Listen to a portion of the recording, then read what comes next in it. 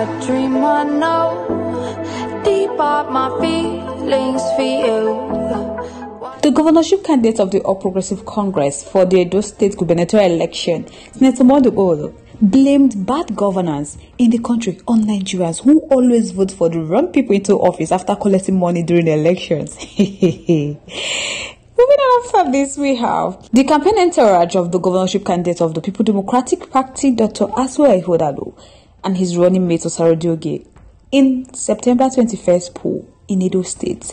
Yesterday storm on the local government where they receive APC and Labour Party defectors into their party. But guys, before we proceed, I welcome you all back again to our wonderful channel, Reality Latest Gist, your home of news and politics. Thank you so much for joining. If today is your first time of watching, please like, comment, share. But don't forget to turn on notification bell so that anytime our news drop, you'll be the first to get notified.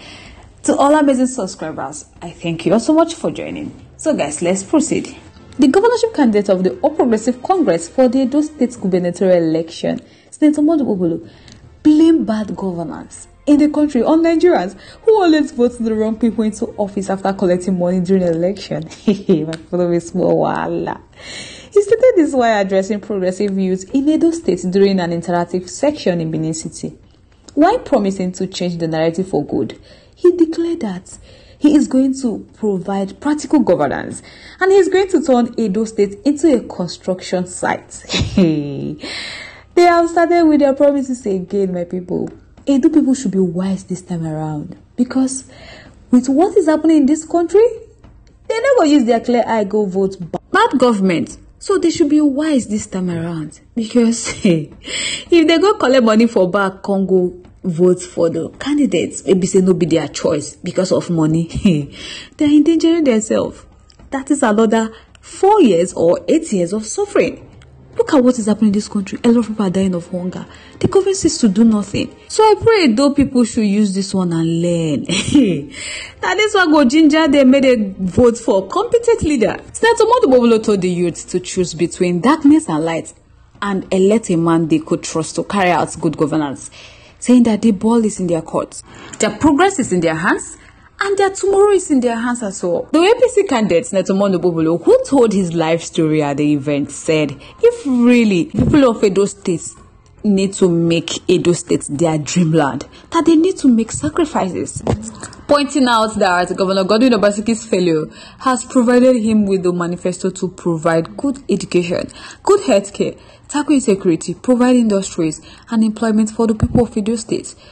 Honorable announced a scholarship award to two youths at the event and 1 million naira support with an additional 100,000 monthly stipend to a woman reportedly sacked from the state service for supporting him. Not only that, he promised to pay lecturers of Ambrose Ali University backlog of salaries owed them and restore the institution to its lost glory if elected as governor of Edo State. Earlier on, the leader of the party, Pastor Osagie Ize-Iyamu, stated that youths were the engine room of election because they are the ones who mobilize, vote, and defend the votes, lamenting that after election, they are usually forgotten. But he assured the youths that Wodu Bobolo would not forget them if being elected as governor of Edo State. So they should try their best to mobilize their friends, they should try their best and come out in mass to vote for Mono Bubulu on September 21st, 2024 for the governorship election. so my people like know what I think about this matter in the comment section. Let's make the comment lively in our comment section. Once again, thank you so much for staying to us. Moving on to the next one. The campaign entourage of the governorship candidate of the People Democratic Party, Dr. Asue Ighodalo, and his running mate Osarodion Ogie in the September 21st poll in Edo State. Yesterday stormed the Ohumode local government area of the state as part of his word-to-word campaign where they were received in Oho Ward 1, Uhi Ward 2, Geduma Ward 3, and Iro Ward 4. So addressing the jubilant crowd, a community leader, Mr. Charles Egbe, declared that Ihumode was already locked down for Aswi Oje and PDP. And he urged the people to come out in mass to support the umbrella, the symbol of the PDP.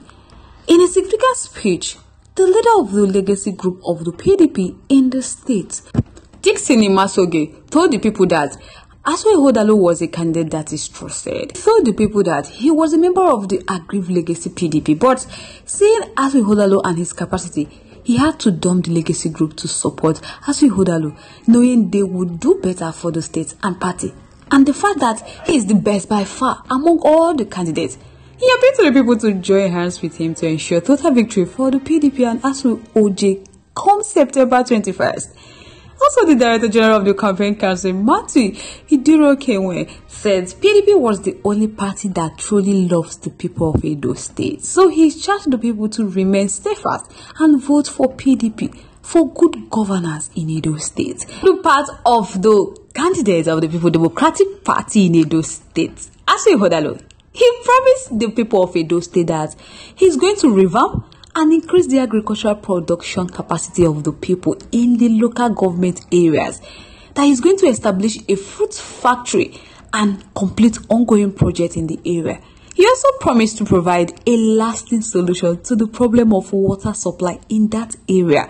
The part of his deputy governor, Osarodion Ogie, he said they are coming into government to better the life of Edo people promising that the Iro and Uhi road would be speedily attention to help evacuate their farm products when they are voted into office. So they should try their best and come out in masses and vote for them come September 21st, 2024. My people, the high point of the campaign was the former defection of two lawyers in the area, Daniel Owege and Felix Salari, two former staunch members of the All Progressive Congress and others who joined the party with their supporters were Mr. Nicholas Edokpaye and, and Jegede Robinson. Both of them were the former House of Assembly candidates of the Labour Party, but they decided to join PDP.